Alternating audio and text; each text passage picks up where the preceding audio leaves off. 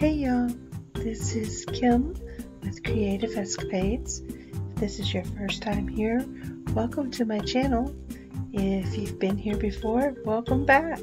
I'm so excited that you joined me today and I'm excited to show you what I'm going to be making. So sit back, relax, and I hope you enjoy the video. Today I'm going to do a hydro dip and this cup actually belongs to a friend of mine who asked me to um, work on it and put a design. And I'm going to be doing the hydro dip with a little bit of black, maybe some white, uh, some golden rod, and some purple. And uh, mostly want the gold and the purple on here, but I may use a little bit of the black or the white to break it up.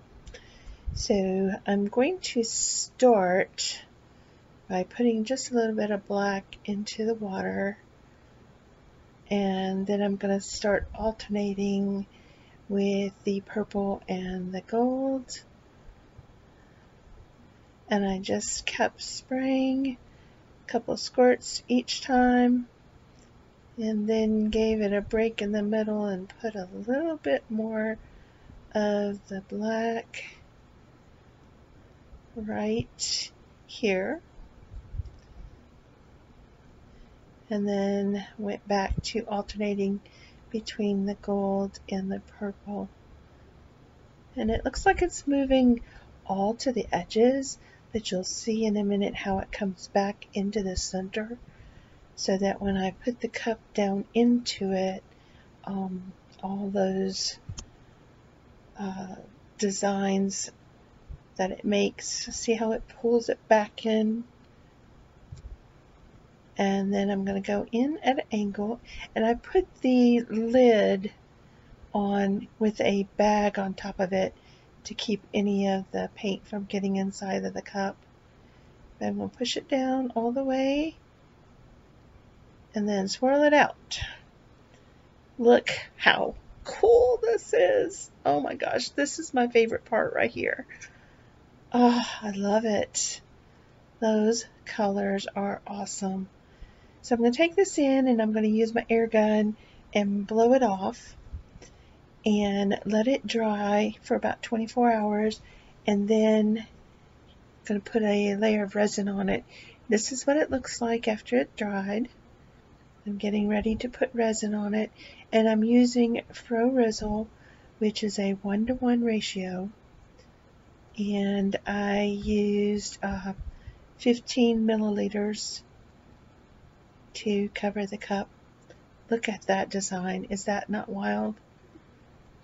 And there was a couple places where it needed touching up and all I did was uh, use some of the purple, sprayed it in a little cup and a little bit of the gold and then just used a uh, brush and touched up anywhere that it looked like it needed to be um, a little more color added.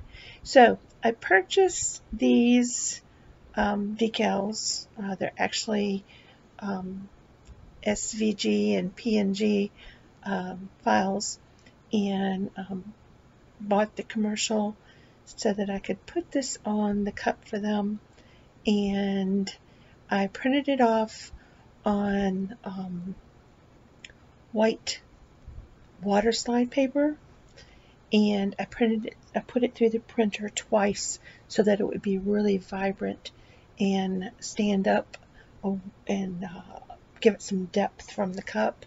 And I also coated it with three layers of clear spray sealer, um, matte spray sealer to seal the colors in onto the water slide. So you just throw it in some water, let it lay in there, work it around a little bit, Make sure that every bit of the backer paper is really good and wet.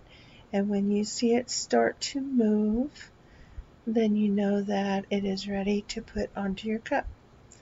So I just add a little bit of water to the cup itself and then I slid the backer paper out from underneath it and my L tried to mess up a little bit so I had to unfold it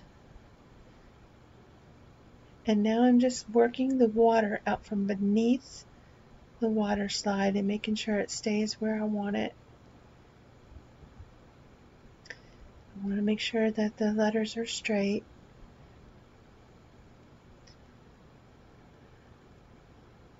Checking out that. And there's just a little bit right here that I needed to work with. The paw on the other hand was also folded under. So there it is. I'll let this dry for a minute and then we'll do the back. And again, you just let the water slide soak until it is moving off of the back paper. I wet my cup and then I place it where I want it.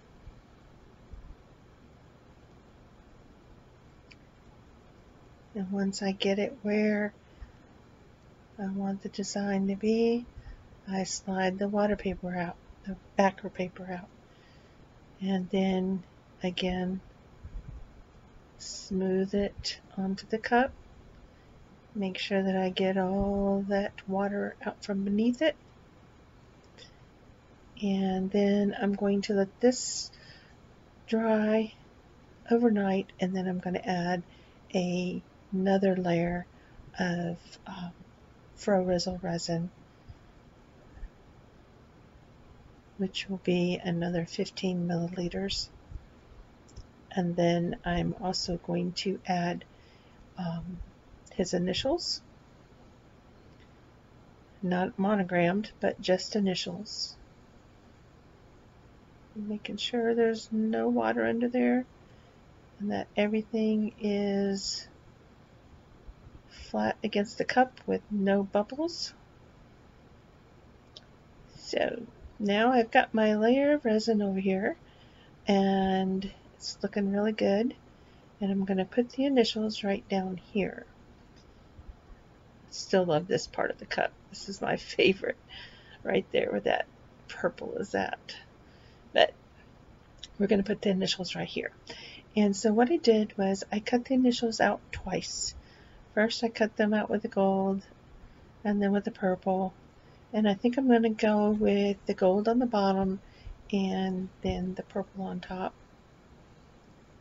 Making sure that it is all lined up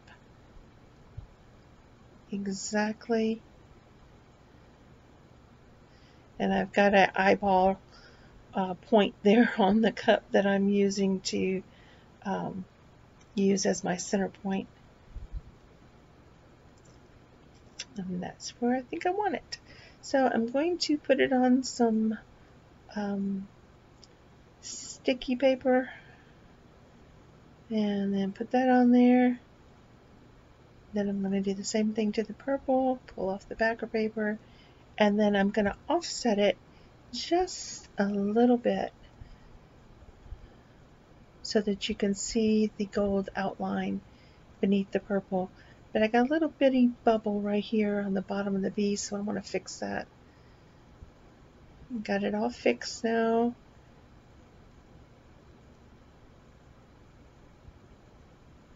And the J just did not want to go as far over as I wanted it to. So I just cut the tape and put it where I wanted it and then removed.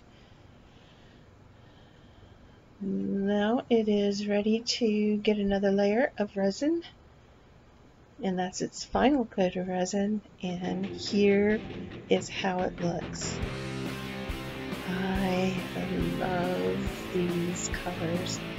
Oh my goodness, they turned out so gorgeous.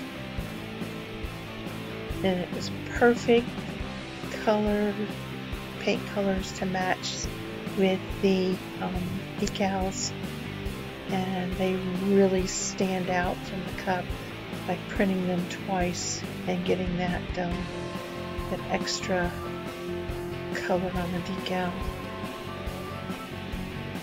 I still love this part right here. It's still my favorite.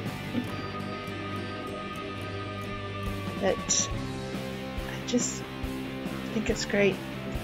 The letters, you can see how they're offset. It looks good.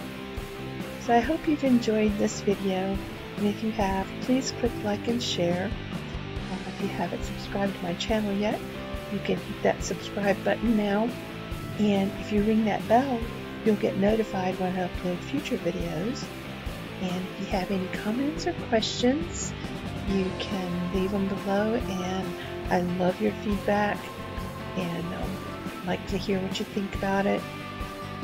And um, all these things help my channel grow, and I certainly appreciate that from the bottom of my heart. I can't thank all of you enough who take the time out of your day to watch what I'm making or creating or how it turns out. So thank you, thank you, thank you. And I hope to see you in my next creative escapade. Bye bye for now.